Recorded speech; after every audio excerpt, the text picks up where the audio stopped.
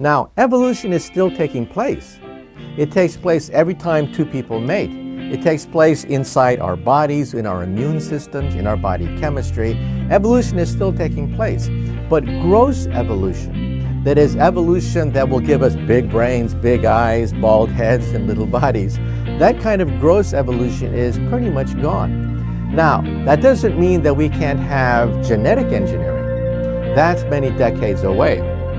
At the present time, we can only manipulate perhaps one gene at a time. It is a very painful process. We cannot, for example, create a pig with wings. That would require thousands of genes being manipulated, and we simply don't have that technology. We only manipulate one gene at a time. So we are, I think, many, many, many decades away from being able to actually influence human evolution.